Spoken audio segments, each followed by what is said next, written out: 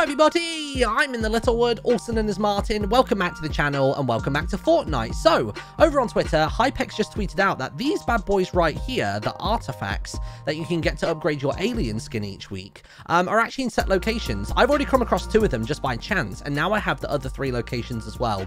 So here's the first of five. We're all the way up here at the orchard. So you basically want to come to the top right area of the map. The orchard is right here. And just before you get to the big house, you want to swing a left into this apple section, and you got one that is right about there. Um, I think as always, let's work clockwise. We could probably go via the middle as well, seeing as this one right in the dead center of the map. Um, and basically, all you need to do is walk over to this thing and interact with it and collect it. And from what I can gather, I don't think it's a first come, first serve job. I think you've just got to drop again and again and again and just keep on collecting them. So here is your next one. Pretty easy to tell where this one is. Dead center of the map, right in the middle of the crater.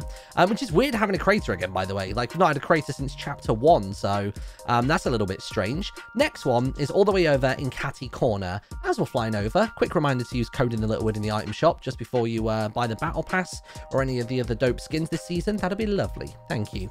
Right, we're at Catty Corner. Um, you basically want to come to the outside of it on the left-hand side on the west, um, and you can basically find that one right about there. That's actually one of the ones I naturally found as well. Uh, on the map, you're basically looking right about here if you want like the very specific uh, pinpoint location.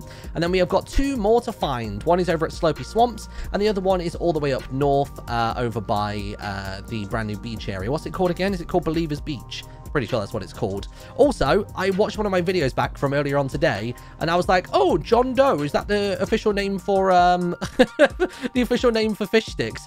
No, it's not. John Doe is what they give the name to things that are, like, anonymous, and he was pretending to do the whole, like, you know, deep voice and shadowed face, and that's what that was about, so thanks for the comments on that one. All right, next one, Logwork Jams, bottom left corner of the map. So basically, you go northwest, I guess, of Slurpy Swamps. You got Logwork Jams right here, south of Holly Hedges, uh, and it's just on the left-hand side by all of these wooden pallets is where you can find your next one.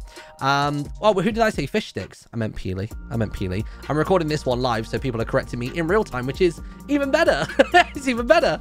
Right, final location before I say anything more stupid. Um, all the way over here by Believers Beach, you want to go a little bit east, so you come to this very top left spire, uh, and it is literally on the staircase. So there you go. Those are your five locations. Um, I'm assuming that they're going to move each week, so hopefully next week I'll have another bunch of five locations for you. And if you did find this video helpful, then be sure to subscribe to the channel, and I'll see you all next time.